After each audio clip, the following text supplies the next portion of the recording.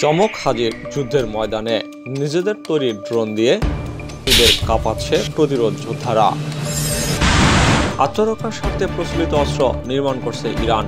ক্ষেপণাস্ত্র নিয়ে কথা বলার অধিকার ইউরোপের নেই। গাজায় এখনই স্থায়ী যুদ্ধবিরতি চায় না যুক্তরাষ্ট্র। সবশেষে জানবেন, রাশিয়ার বিরুদ্ধে যুদ্ধের নতুন ধাপে ইউক্রেন হার না মানার অঙ্গীকার জেলোনস্কে নিজেদের তৈরি ড্রোন দিয়ে দখলদার সৈন্যদের কাঁপাচ্ছে প্রতিরোধ যোদ্ধারা। হামলার জবাব দিতে ইসরায়েলি বাহিনীর অবস্থান লক্ষ্য করে পাল্টা ড্রোন হামলা চালিয়েছে প্রতিরোধ যোদ্ধারা। শনিবার এই সংক্রান্ত একটি ভিডিও প্রকাশ করেছে তারা। ইসরায়েলি ভূখণ্ড লক্ষ্য করে চলে এই সব হামলা। খবর রয়টার্সের। প্রকাশিত ভিডিওতে দেখা যায়, অজ্ঞাত স্থান থেকে ড্রোন হামলা চালাচ্ছে স্বাধীনতাকামী সংগঠনটির সদস্যরা। নিজস্ব প্রযুক্তিতে তৈরি করা হয়েছে এই সব ড্রোন। তবে এইসব হামলার সফলতা সম্পর্কে কিছু বলা হয়নি। এর পাশাপাশি দখলদার ভূখণ্ড লক্ষ্য করে রকেট হামলাও চালিয়েছে প্রতিরোধকামী যোদ্ধারা। যদিও লক্ষ্যবস্তুতে আঘাত হানার আগেই তাদের আকাশ প্রতিরক্ষা ব্যবস্থা আয়রন ডোম ব্যবহার করে রকেটগুলো ধ্বংস করে দেওয়া হয়েছে। ইরানি ক্ষেপণাস্ত্র নিয়ে কথা বলার অধিকার ইউরোপের নেই। ইরানের নবনির্মিত ফাতা দুই ক্ষেপণাস্ত্র সম্পর্কে ব্রিটেন, ফ্রান্স এবং জার্মানি যে যৌথ বিবৃতি প্রকাশ করেছে, তাকে বিভ্রান্তিকর ও রাজনৈতিক উদ্দেশ্য প্রণোদিত বলে প্রত্যাখ্যান করেছে তেহরান। ইরানের পররাষ্ট্র মন্ত্রণালয়ের মুখপাত্র নাসের কানানি বলেছেন, ইউরোপীয় ট্রয়িকা নামে পরিচিত এই তিন দেশ ইরানি ক্ষেপণাস্ত্র সম্পর্কে যে মন্তব্য করেছে, তার আইনগত কোনো ভিত্তি নেই। তিনি বলেছেন, ইরানের ক্ষেপণাস্ত্র কর্মসূচির উপর জাতিসংঘ নিরাপত্তা পরিষদের যে বিধিনিষেধ ছিল, তা দু হাজার পনেরো সালে স্বাক্ষরিত। পরমাণু সমঝোতা অনুযায়ী গত আঠারোই অক্টোবর শেষ হয়ে গেছে। কাজেই তিন ইউরোপীয় দেশ ইরানের ক্ষেপণাস্ত্র কর্মসূচি সম্পর্কে যে অভিযোগ করেছে তা অগ্রহণযোগ্য এবং বেআইনি। ইরান গত উনিশ নভেম্বর তার নতুন ব্যালিস্টিক ক্ষেপণাস্ত্র ফাতা দুইয়ের মোড়ক উন্মোচন করে। গত বৃহস্পতিবার তিরিশ নভেম্বর জার্মানি, ফ্রান্স ও ব্রিটেন ইরানের এই পদক্ষেপের নিন্দা জানিয়ে এক যৌথ বিবৃতিতে বলেছে, আন্তর্জাতিক আহ্বান উপেক্ষা করে নিজের ক্ষেপণাস্ত্র কর্মসূচি শক্তিশালী করছে ইরান। মানহানির মামলায় বড় ক্ষতিপূরণ পেলেন জাকির নায়েক। মানহানির মামলায় মালয়েশিয়ার উপ প্রধানমন্ত্রীর কাছ থেকে ক্ষতিপূরণ পেয়েছেন ভারতীয় ধর্মপ্রচারক জাকির নায়েক। মালয়েশিয়ান সংবাদ মাধ্যম মালয় মেইলের শুক্রবারের প্রতিবেদনে বলা হয়েছে, মালয়েশিয়ার উপ প্রধানমন্ত্রী রামাস্বামী পালানিস্বামী মানহানির ক্ষতিপূরণ হিসেবে জাকির নায়েককে পনেরো লাখ বিশ হাজার রিঙ্গিত বা বাংলাদেশি মুদ্রায় সাড়ে তিন কোটি টাকারও বেশি পরিশোধ করেছেন। প্রতিবেদনে বলা হয়েছে গত দোসরা নভেম্বর পেনাং হাইকোর্টের বিচারক হায়াতুল আকমল আব্দুল আজিজ রামাস্বামীকে জাকির নায়কের মানহানি করায় দশ লাখেরও বেশি রিঙ্গিত ক্ষতিপূরণ দেওয়ার নির্দেশ দেন। পাশাপাশি প্রকাশ্যে জাকির নায়কের কাছে ক্ষমা চাওয়ারও নির্দেশ দেন। তবে শুক্রবার হাইকোর্টে এই বিচারকের আদালতে ক্ষমা চাওয়ার বিষয়টির উপর স্থগিতাদেশ অর্ডার চেয়ে রামাস্বামীর আবেদন নিয়ে শুনানি হয়। পরে অবশ্য রামাস্বামী আবেদন প্রত্যাহার করে নেন। তবে কেন তিনি আবেদন প্রত্যাহার করেছেন তা জানা যায়নি। ডক্টর জাকির নায়ক রামাস্বামীর বিরুদ্ধে দুই হাজার ষোলো থেকে দুই হাজার উনিশ সালের মধ্যে চারটি মানহানিকর বক্তব্যের জন্য মামলা দায়ের করেছিলেন। বলা হয় বিভিন্ন সময় রামাস্বামীর করা মানহানিকর বক্তব্যের বরাদ দিয়ে বিভিন্ন সংবাদ প্রকাশের কারণে জাকির নায়কের মানহানি হয়েছে। সেই অভিযোগের প্রেক্ষিতেই এই ক্ষতিপূরণ পেলেন জাকির নায়েক। দক্ষিণ কোরিয়ায় আত্মহত্যার হুমকি কুকুর ব্যবসায়ীর।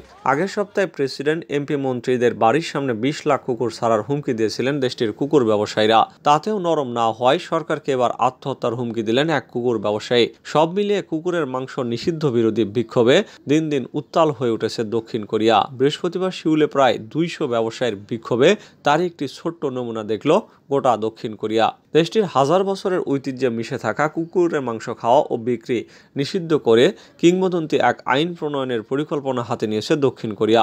চলতি মাসের শুরুর দিকে এই আইন প্রণয়নের কথা ছিল দেশটির প্রেসিডেন্ট ইউন সুক ইউলের সরকারের। আইনে দু হাজার সাতাশ সালের মধ্যে কুকুরের মাংস শিল্পকে পর্যায়ক্রমে বন্ধ করে দেওয়ার পরিকল্পনা ছিল।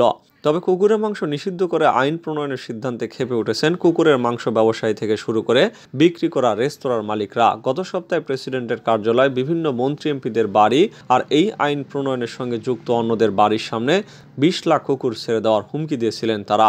বৃহস্পতিবার সেই হুমকি বাস্তবায়নের পথে আরও এক ধাপ এগিয়েছেন। প্রায় একশো কুকুর বজায় এক ডজন ট্রাক নিয়ে এদিন বিক্ষোভে নামেন প্রায় দুইশো কুকুরের মাংস ব্যবসায়ী, রেস্তোরাঁর মালিক এবং কুকুরের মাংস শিল্পের সঙ্গে জড়িত অন্যরা। সিউলে প্রেসিডেন্ট কার্যালয়ের সামনে জড়ো হন তারা। এই সময় আমরা লড়াই করব, আমরা লড়াই করব বলে চিৎকার করে ওঠেন বিক্ষোভকারীরা। সরকার এমন আইন নিয়ে পরবর্তী সময়ে কোনো পদক্ষেপ নিলে আত্মহত্যার হুমকিও দিয়েছেন বিক্ষোভে অংশ নেওয়া কুকুরের মাংস ব্যবসায়ী।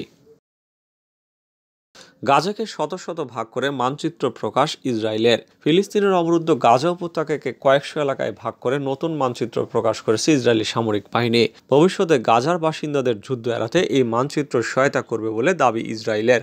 শুক্রবার ইসরায়েল এবং হামাসের মধ্যকার অস্থায়ী যুদ্ধবিরতি চুক্তির মেয়াদ শেষ হওয়ার পরপরই এই নতুন মানচিত্র প্রকাশ করল ইসরায়েলি সামরিক বাহিনী। মানচিত্রটি অনলাইনে প্রকাশ করা হয়েছে। বিবিসি বলছে, নতুন মানচিত্রে গাজার বিভিন্ন এলাকাকে নম্বর দিয়ে চিহ্নিত করা হয়েছে। ইসরায়েলি সেনাবাহিনীর দাবি, বেসামরিক নাগরিকদের যুদ্ধের পরবর্তী ধাপের জন্য প্রস্তুতে সহায়তা করতে এই মানচিত্র তৈরি করা হয়েছে। তবে যুদ্ধবিরতির মেয়াদ শেষ হওয়ার পর গাজার দক্ষিণ অঞ্চলীয় শহর খান ইউনুসের বাসিন্দাদের আরও দক্ষিণে সরে যেতে লিফলেট বিতরণ করেছে ইসরায়েলি বাহিনী। লিফলেটের ছবি সামাজিক যোগাযোগ মাধ্যমে ছড়িয়ে পড়েছে। গাজায় এখন স্থায়ী যুদ্ধবিরতি চায় না যুক্তরাষ্ট্র।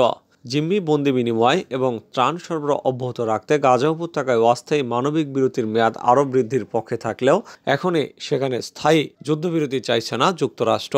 মার্কিন প্রেসিডেন্ট জো বাইডেনের জাতীয় নিরাপত্তা উপদেষ্টা জন কিরবি এক ব্রিফিংয়ে ফিলিস্তিনের গাজা উপত্যকা নিয়ন্ত্রণকারী গোষ্ঠী এবং ইসরায়েলের যুদ্ধ নিয়ে যুক্তরাষ্ট্রের অবস্থান স্পষ্ট করেছেন। ব্রিফিংয়ে জন কিরবি বলেন, আমরা এখনই কোনো স্থায়ী যুদ্ধবিরতি চাই না, তবে আমরা চাই গাজায় যেন মানবিক বিরতি চলে, তা আরও বৃদ্ধি পাক। আমরা চাই সেখানে সাত দিনের যে যুদ্ধবিরতি শুরু হয়েছে, তা আট, নয়, দশ কিংবা আরও বেশি দিন বর্ধিত হোক। কিন্তু যুক্তরাষ্ট্র মনে করে এটি শেষ পর্যন্ত চূড়ান্ত কোনো সমাধান নয়। রাশিয়ার বিরুদ্ধে যুদ্ধের নতুন ধাপে ইউক্রেন। ইউক্রেনের প্রেসিডেন্ট ভলোদিমির জেলোনস্কি বলেছেন রাশিয়ার বিরুদ্ধে যুদ্ধের নতুন ধাপে রয়েছে কিয়েভ। মার্কিন বার্তা সংস্থা এপিকে দেওয়া সাক্ষাৎকারে তিনি এই মন্তব্য করেছেন। বৃহস্পতিবার খার্কিবে তিনি সাক্ষাৎকারটি দিয়েছেন। শুক্রবার তা প্রকাশিত হয়। ইউক্রেনের প্রেসিডেন্ট বলেন আমরা যুদ্ধের নতুন ধাপে রয়েছে এটি সত্য। শীতকাল যুদ্ধের একটি নতুন ধাপ। সাক্ষাৎকারে শীতে ইউক্রেনের চ্যালেঞ্জ পাল্টা আক্রমণ ও মধ্যপ্রাচ্যে চলমান হামাস ইসরায়েল যুদ্ধ নিয়েও কথা বলেছেন। ইউক্রেনের পাল্টা আক্রমণ নিয়ে তিনি বলেন? দেখুন, আমি পিছু হচ্ছি না, আমি সন্তুষ্ট। আমরা বিশ্বের দ্বিতীয় শ্রেষ্ঠ সেনাবাহিনীর বিরুদ্ধে লড়াই করছি। তিনি আরও বলেছেন, আমরা মানুষ হারাচ্ছি, এতে আমি সন্তুষ্ট নই। আমরা যেসব অস্ত্র চেয়েছি, সেগুলো পাচ্ছি না, এতে সন্তুষ্ট হওয়ার সুযোগ নেই। কিন্তু আমি খুব বেশি অভিযোগও করতে পারব না। জেরোনস্কি বলেন, আমরা দ্রুত ফলাফল চেয়েছিলাম। দৃষ্টিভঙ্গিগত অবস্থান থেকে দুর্ভাগ্যবশত আমরা প্রত্যাশিত ফলাফল অর্জন করতে পারিনি, এটি সত্য।